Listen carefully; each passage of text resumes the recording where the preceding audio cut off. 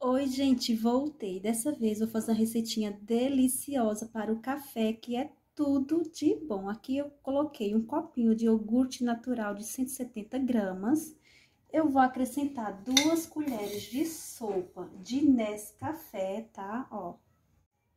Vou usar apenas duas colheres assim, tá, gente? De Nescafé. Eu vou mostrar aqui pra vocês, tá? Ó.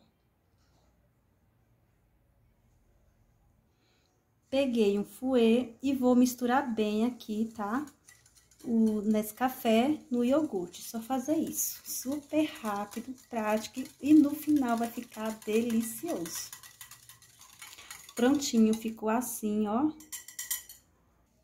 Peguei um copo de liquidificador, eu vou colocar essa misturinha aqui no liquidificador, tá? Ó, coloquei tudo. Vou acrescentar três ovos 100 ml de óleo, uma xícara de açúcar. O açúcar vocês colocam a gosto, não coloquei muito cheia, tá? Vou acrescentar também aqui meia xícara de leite. Vou colocar duas xícaras de fubá, eu tô usando aquele fubá mimoso fininho. Vou acrescentar também uma colher de sopa de queijo parmesão ralado e uma colher de sopa de fermento em pó e vou bater. Bati por três minutinhos, vou colocar aqui nessa forma, eu untei e polvilhei, tá, gente? Se vocês preferirem, pode fazer em uma forma de furo no meio, tá? Vou levar ao forno pré-aquecido a 180 graus e já volto com ele prontinho já ficou prontinho, 40 minutos no meu forno. Agora, eu vou desenformar.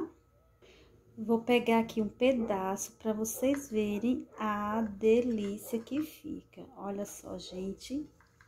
Ele fica fofinho, ó.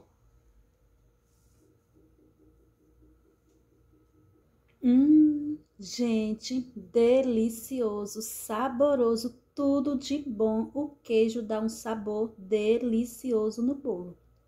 Se vocês gostarem do vídeo, vocês não esquecem de dar um joinha, se inscrever no meu canal, ativar o sininho para receber as notificações de cada vídeo que eu colocar. E compartilhar também, tá, gente? Tchau!